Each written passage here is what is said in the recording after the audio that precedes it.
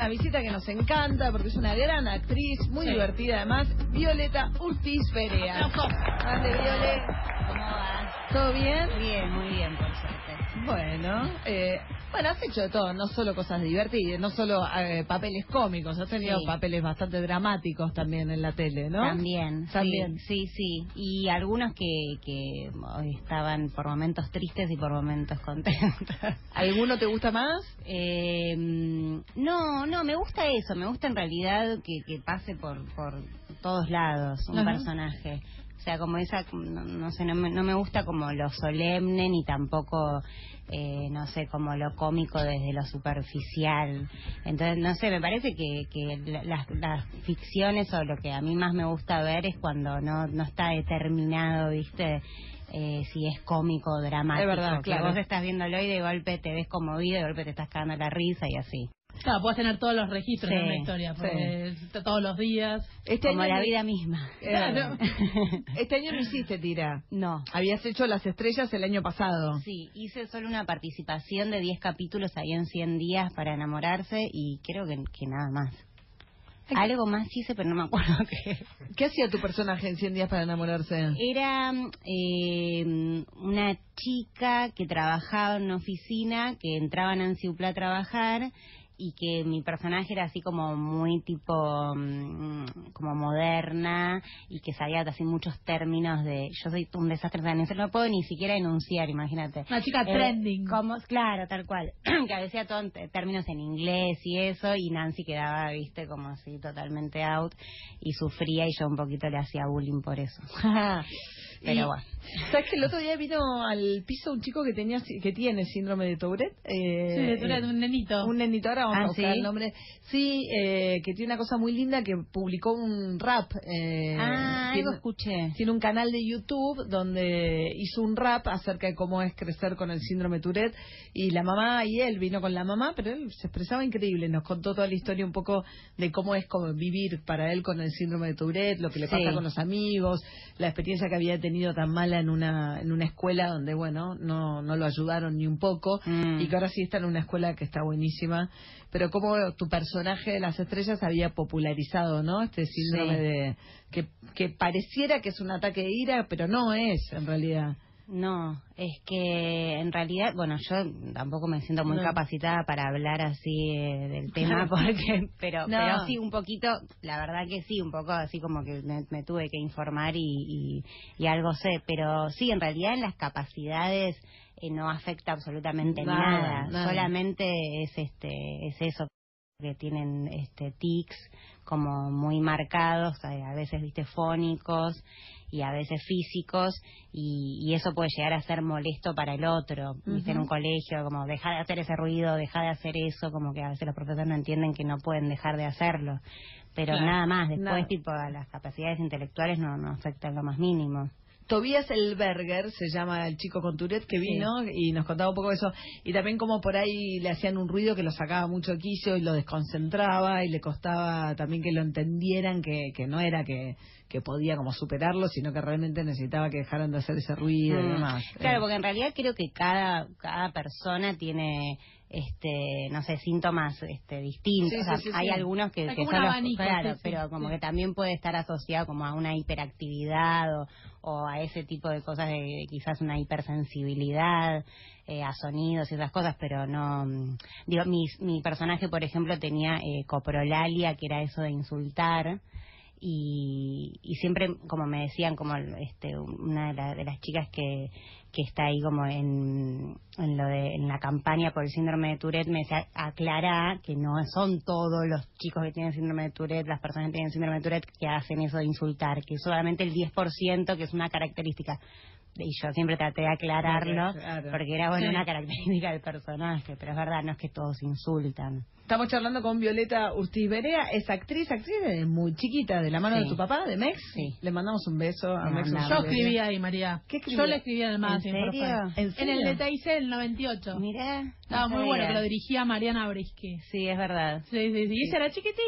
Chiquitita, ¿y ¿qué te llevó Mex? Porque sí, En realidad... eh, no tenía con quién dejarte, tenía la nena el fin de semana. Claro, no, no, No. no. ¿Qué hacías la astróloga vos? No, yo hacía una abogada. La abogada garca con Sí. la... Sí.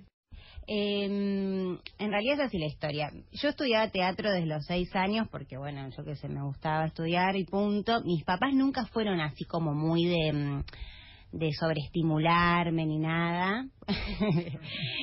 Más colgados. Sí, me dio Sí. los 24 años, como, bueno, a lo que había. Gracias a que está viva. Claro, gracias que más o menos... Te eh, tuvieron a los sé 24. hab- hablar, Claro. eh, sí. Y, y entonces, porque viste siempre la historia típica de los actores que serán como que todos les festejaban todo, no, no, no. Lo normal, por suerte, también si no es medio un plomo, te convertís así como... El payasito Claro, en el no. que se deposita después pasás mucho. a la vida y nadie te mira y te frustras. Claro. No, no, yo no. y este, mm, bueno, y entonces mi papá eh, se puso en pareja con Nora Mosenko. Nora daba clases en, el, en la escuela de Hugo Midón y creo que fue tipo a una, a una muestra de teatro y flasheó con los pibitos que actuaban de grandes y todo eso y dijo, bueno, vamos a hacer un programa. Y Nora, que es todavía maestra de teatro, tiene una escuela de teatro. Muy, muy, muy capa. Y, mm, y entonces empezaron a hacer el casting para el piloto del programa. Y yo, claro, eso mismo, estaba ahí porque yo que sé, me tocaba justo ese día con mi papá Claro. y veía el casting sentadita tipo en un banquito y no y flasheaba y decía, ay, wow, qué hermoso, tipo, y la- todos actuaban increíble, me parecía divertísimo, me moría la risa, pero mi papá no me decía de estar en el programa, ¿viste? Bueno, yo nada, tampoco le decía a él. Y, y un día, antes de hacer el piloto, había un sketch que era como un talk show, entonces necesitaban como bastantes personas. Y me dijo, ¿querés tipo estar ahí sentada? Sí. Me dijo, bueno, a ver, probemos un personaje. Bueno, y como que me hizo un casting tipo ahí. Me dijo, bueno, dale, dale, hagamos eso. Y él como que me dijo que estaba reacio a eso porque le daba cosa como la situación de estar aquí trabajando con su hija y que Claro. sientan como una diferencia y no sé qué. Bueno, entonces arranqué así, pero fue como medio... mm, ¿Qué edad tenía, que sí, que no. Diez, Diez, claro. claro. Sí. ¿Y te tocó laburar mucho de chica? No, No. No, no, porque trabajé de los 10 a los 14 ahí en Forfait, que era como, no sé, algo muy muy particular que grabábamos solo los sábados, no era Estabas con tu viejo, estabas- Morena. claro. Claro, no, no, era así muy chiquitito, también lo veía poca gente, no, no generaba, viste, euforia ni nada de eso. Y, y Después en después, en TIC, después en América. sí, tal cual. Claro. Lo veía, viste, poquita gente. Sí. Y, mm, y después, este, no, después hice como algunas participaciones porque me llamaron y, y una obra, un par de obras de teatro. Seguí estudiando teatro, pero no hice nada como para seguir teniendo trabajo, seguí como mi secundario normalmente. Y a los 18 sí, como terminé Ah. el colegio y dije, bueno, me consigo un representante, me saqué unas fotos de book, que por Dios espero que, Que que no estén en ningún lado. Twitter. Claro. Y ahí empecé como a laburar. Siempre es complicada, ¿no? La experiencia de los chicos en la tele o viviendo una vida que de repente no, no tiene...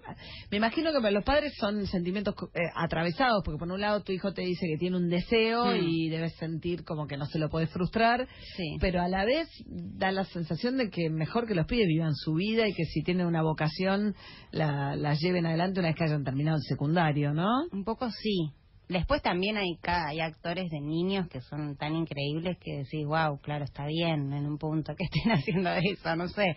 No sé, a mí me pasa que me dan un poco de pena. Sí. eh, porque también siento que viven situaciones que no deberían vivir todavía, como viste la continuidad laboral, si les va bien, si no, yo los escuché a niños diciendo cosas que eran tipo wow, como no, no está bueno porque el año que viene tengo pantalla, no sé, textos que decís, ay, por favor. Claro, qué chiquito que es para esto, no te, sí. no te está haciendo bien. Qué estresazo a los 10 Sí, años. Claro, tipo, si te, te- viste, tu personaje crece, no crece, si, no sé, Cosas- cosas, que ya en- a un adulto la angustia, no me parece que un niño no debería estar experimentando eso. Pero bueno, no, es verdad también que, que en las ficciones es necesario Tener personajes y- Ay, son, son más, me parece, los casos, no es muy estadístico lo mío, pero de chicos que fueron famosos de chicos que la pasan mal de grande. O sea, son pocos los Todos drogadictos, María Eh. Violeta es una excepción. No te creas. ¿Quién te dijo? A drogada. ver ¿Qué fue la, mi, mi primera serie que me marcó? No fue Verano 98, no fue Montaña Rusa, fue contemporánea de Montaña Rusa que era Amigobios. Vos no sé si te acordás. Sí. Por supuesto. Y una vez me puse a ver qué fue de la vida de los actores y actrices de Amigobios y prácticamente la mayoría ahora no están en, lo- en- en el medio, digamos. Salvo Sabrina Carballo. Algunos eh, están en México, pero hacía referencia, eh, señorita maestra. Sí, el otro día que vino Gloria Carrá hablábamos señorita maestra, la mayoría tampoco le fue bien. Eh, vos sos muy chica para la señorita Sí, maestra, sí. pero es una referencia que te queda lejos. Pero Sí, igual sé, sé que... no, no, terminaron. Sí, chiquititas Sí. y cebollitas creo que medio parecido. Bueno, Agustina Cherry, ¿no? No, chiquititas un montón trabajan. Es como clave de sol. Son, eran- esas fueron semillero. Pelito. no. Cebollitas como que... Sí, chiquititas tenés a Cherry un montón. Chiquititas, ¿verdad? Sí. Pero cebollitas no. Estamos charlando con Violeta Ortiz Berea, ella es actriz y bueno, un poco empezó muy chica, pero en las condiciones que nos contaba. Pensaba también porque, bueno, justo hablábamos hace un rato de Brenda Asnícar, viste que habló acerca de lo de Patito Feo, que no era Sí. Patito Feo ella de paso, No aclaremos. era la villana, ¿no? No, no, no. Nos putearon en Twitter. Decíamos Bien. que ella era patito, pero no Ah, era. No, Laura Esquivel. Laura, sí. Laura Esquivel era Patito y ella era la villana. Ella era la mala. Bueno, que a partir del Telma Fardini de la denuncia dijo que ya, bueno, que no sabía en el momento que no se había enterado, pero dice que a ella también, que ella tenía 16 años y que también vivió, vivió insinuaciones de adultos que no, dijo que no eran, este, que no había sido eh. D'Artés, que le dijeron, porque la dijo, ah, te quiero desvirgar cuando ella tenía, dice, lo que ella plantea es que no era tan infrecuente, sino que más bien todo lo contrario, era muy frecuente situaciones de adultos eh, cometiendo situ- abusos de poder respecto de nenas, adolescentes muy chiquitas, eh, como con poco cuidado dentro de la tira. Eh, no sé cómo, vos, vos vi que participaste, hubo como una, una campaña a través de Twitter, ¿no? De decir si también te habías tocado vivir situaciones de machismo, de cierta situación de abuso Sí. de poder dentro de la graduación que puedan tener. Sí. ¿Te pasó a vos, Violeta? Sí, en la vida millones de veces, pero mm, pero en el trabajo, o sea, no tengo un recuerdo puntual de sí tengo sí, sí, pavaditas pavaditas que no son tan pavaditas, pero yo que sé que te me tiran la lengua o cosas de ese estilo, sí, pero no Que te mete la lengua fuera de guion. Claro. Que eso, Sí. sí. Eso me pasó una vez. O sea, en realidad, pobre, porque no es que, viste que las mujeres siempre justificamos a los hombres, qué horror. Este, no, pobre, pobre no. Pero a veces pasa que te, pues, se te puede escapar, la verdad. Pero no, en este caso era, un- yo tenía esa respiración boca a boca, o sea, no había manera de que se le Ah, claro, tenía que estar inconsciente. Claro, a eso me Sí, no es que había un beso Claro, en el decir, que bueno, quiso actuarlo. no sé, está bien, yo qué sé. Ponele que se le escapó la lengua.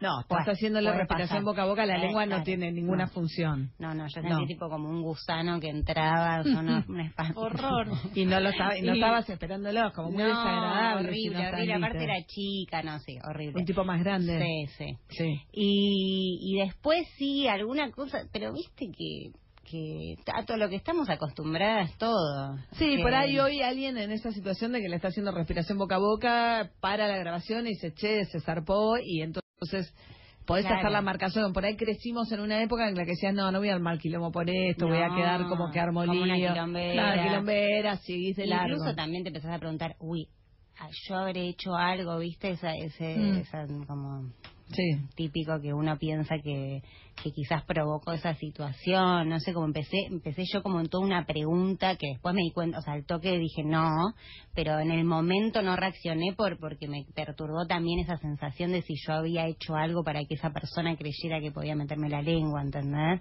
Bueno, pero pero no no tengo un recuerdo o sea la verdad por suerte eh, no no no viví eh, una situación así concreta de, de abuso en el trabajo Ujú.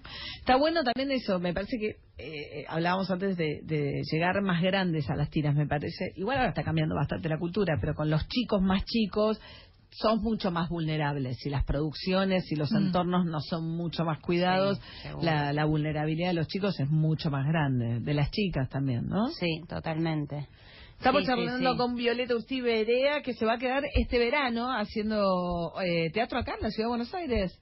Sí, me voy Sí. a quedar acá. No sé, y me quedé pensando en eso también, pero también porque hay una cuestión de, de también sexualizar a las chicas también de muy jóvenes. No sé, como también hay toda una cosa que me parece que hay que, que cambiarla de raíz. Eh, digo, en ese programa Patito, no me- yo no me acuerdo bien, pero probablemente debían estar, viste, como también sexualizadas las chicas, que no pasa con los pibes, viste, con los, seguramente Claro. con el elenco no debían estar tipo en cuero frotándose algo. Es verdad, es verdad. Entonces, ¿por qué también per- o sea, daban lugar a eso, viste? A poner una piba en una, en una posición así este, sexual.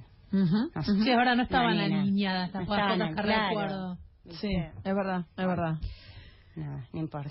Bueno, vas a estar haciendo teatro acá, terapia amorosa con Benjamín Micuña, Fernán Meras y Violeta Ustiberia en el Teatro Picadero, que está bueno ese teatro en Buenos Aires en verano, ¿es raro? o- Nunca, nunca hice, Nunca así que no sé. Mucho Sí. turismo ahí, es lindo. Mucho turismo que- interior también, ¿no? Sí. Sí, me parece sí. que sí. Aparte ahora este año que me Sí. parece que la gente no... No está para... no está sí. para irse a Estados Unidos. No sé cómo que está bien quedarse acá eh, con los pesos y entonces bueno quizás también hay, Mm. Una más salida, por eso. Sí, claro. puede ser. Eh, pero sí está buena, estoy ¿Qué- contenta. ¿De qué trata terapia amorosa? Trata de una pareja que somos Benjamín y yo eh, que hasta hace 14 años que tienen dos hijos y están en crisis absoluta. O sea, más que crisis, porque no, no, no sé, eh, medio que la pregunta es también si ellos viven así o les gusta, les copa, viste, como una pelea constante. Eh, como dos perros así que se atacan, bueno, así están todo el tiempo y van a una terapia de pareja, que Fernanda es el terapeuta, y bueno, eh, sucede algo en el medio que, que cambia todo, pero la cosa es eso, un poco habla de eso, de, de, de- de la pareja, de, de, mm, de eso, de las peleas, de, de si uno, si eso es lo que te une o lo que te desune, eh, terminar, separarse o no separarse, eh, ese Sos tema. chica, ¿no? Para hacer una... ¿Qué edad tenés, Ay, gracias. Yo también pienso lo mismo. ¿Pero qué edad tenés? 33, ahora cumplo 34. no Claro, sé. pero para una pareja de, ¿cuánto dijiste? 14. 14. Claro, sos como te vas Para- a- tu personaje tiene más edad que vos en la vida real Sí, en este caso. Incluso creo que en un principio decían que estaban juntos hace como 20 años, una onda así, y dijimos, no, cam- No, no le da la edad. Violeta. Estábamos en primer año y chapábamos, claro. Claro, ¿verdad? pará. Bueno, Sí. hay gente que está junta de los 14, pero... Bueno, Davidowski, uno de nuestro equipo, está con la misma persona desde los 15, más o menos. Sí, de novio y... Sí. Sí. Por eso puede pasar. Puede pasar, sí, Pero claro. no es lo más como normal. Sí, no es lo más. Entonces sí, pero mm, pero sí. Eh, tiene, sí, yo que sé, tendrá 35 años, ponerle esta mujer. Mira, y Benjamín Micuña haciendo teatro en el verano también es raro, ¿no? En, Sí. en Buenos Aires. La verdad, ¿Habías trabajado con él? Nunca. Nunca. No. ¿Y lo siguen los paparazzi por todos lados como un dolor de cabeza? o- Ay, pobre. Eh, mirá, la verdad que fue un... No, no, No. como lo vi más en su estado más normal. este, viniendo a, a las 9 de la mañana a ensayar, hasta las 3 de la tarde ensayábamos todos los días. Ahora él está en Chile, así que estamos ahí como en un parate. Pero mm, pero no, no, No. no, no lo vi en el rol así de estrella seguido por paparazzis. Pero sí, supongo que, que en su vida este un poquito se trata también de eso.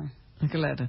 Bueno, Violeta Ustiberea, actriz eh, divina. A ver, Mario, el ¿Qué? apellido no puede ser que no te salga. Urtiz-Berea. Bien. Tiene problemas con los apellidos en general. Ah, a ver cómo es. Es Urtiz Berea. Urtiz-Berea. Claro, Urtiz Berea. Como más. Urtiz-Berea. Vasco Sí. como vos, Flora. Es bajo como yo, sí, sí. Pero a veces le salen mal los judíos alemanes.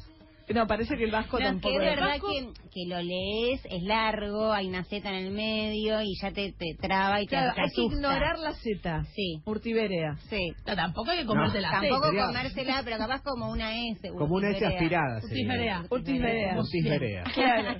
¿Cómo están los vascos? Tremendo, ¿eh? Hablando de los vascos. Linda el- gente. Bueno, pero. Nosotros. No, siempre. ¿Cómo bueno, era el grupo sanguíneo eso? Eh, eh, ¿Sos RH negativo? RH negativa? Eh, no sé. Porque la mayoría de los O que sea, tenemos ascendencia A, baja. A, pero no sé si positivo o negativo. Después ¿Vos averiguá. decís Que, que es negativo, quizás. La mayoría de los País Vas- de la gente del País Vasco es eh, Esto, gen- Flora generó una vez una polémica con esto, llamó un ¿Y montón eso de trae oyentes. problemas? No, es, es un grupo menos eh, no, Frecuente. hay- hay menos frecuente nada más Eh, igual no son los vascos, sino Andalucía, donde ganó la, digamos, se juntó este, Ciudadanos con un partido de derecha, hicieron alianza con Vox, que es un partido a la derecha po- de posta. derecha extrema de España, Vox, de corta Sí. o X, eh, que son eh, re- reivindican bueno la monarquía, la familia, el falangismo, Franco, es como loco Sí, el mega regreso. xenofóbicos. Sí, es muy loco el regreso de la extrema derecha a España, ¿no? Las vueltas de, de- To- bueno, de, de- de Pero toda Latinoamérica todo- también. toda Europa también, en toda Europa también. Bueno, Violeta, suerte. Entonces Ay, en el verano. Vengan a vernos de Sí, vamos. viernes a domingo en el Picadero con Fernán Mirás, eh, a Benjamín Vicuña y lo dirige eh, Daniel Veronese. Da- Daniel Veronese, que es un gran, gran director de, de este país. 18 de enero arrancan ahí en el Picadero, muy lindo Sí. teatro también para ir a ver, ahí en la cortada, un viejo teatro con mucha historia que hace Sí, algunos totalmente. años se recuperó, que tiene varias salas además el Picadero. Y siempre hay obras que están buenas. Gracias, Violeta. Muchas gracias.